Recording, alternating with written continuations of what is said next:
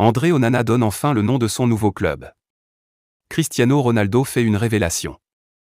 Pour plus d'informations après le générique. Avant de commencer, n'oubliez pas de vous abonner et d'activer la cloche de notification car cela va vous permettre de ne plus manquer à nos prochaines vidéos. C'est parti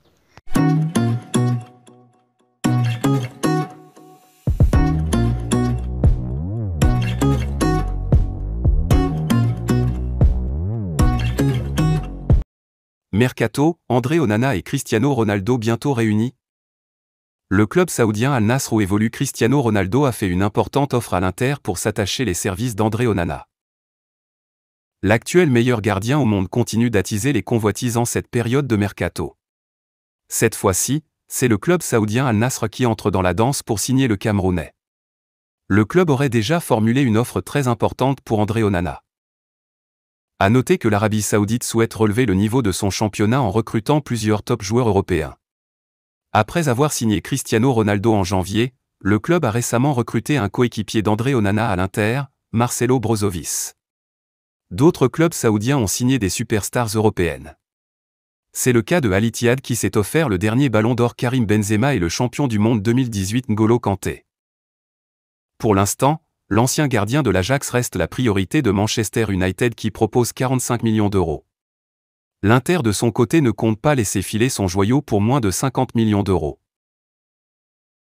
Njala Khan Junior accuse Eto'o d'avoir chassé André Onana. Le quatrième vice-président du COMEX de la FECAFO Henri Njala Khan a décidé de briser le silence après sa suspension. Un autre président de club se met Samuel Eto'o à dos. Henri Njalakan Junior a entrepris depuis quelques jours de dire sa part de vérité sur la gestion de la FECAFOU et des équipes nationales.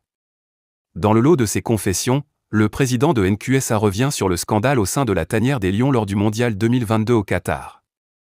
Après une embrouille entre André Onana et Rigobertson, le gardien de l'Inter a été écarté de l'équipe.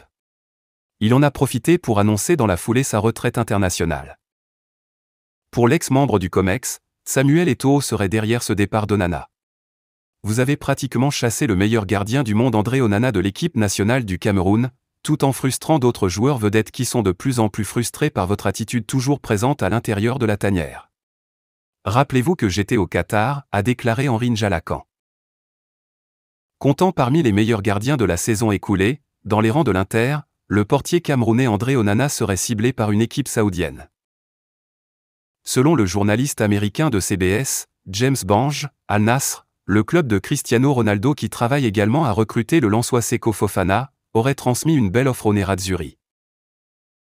En cas d'échec des négociations, le club de Riyad se tournerait vers l'Espagnol David de Rea, en fin de contrat à Manchester United.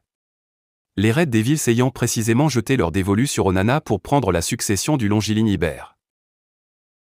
Les prouesses d'André Onana relancent le débat au sujet de son retour en sélection nationale. Écarté du groupe par Rigobert Song pendant la Coupe du Monde au Qatar, le gardien de but avait pris sa retraite internationale peu après et n'est pas encore revenu sur sa décision.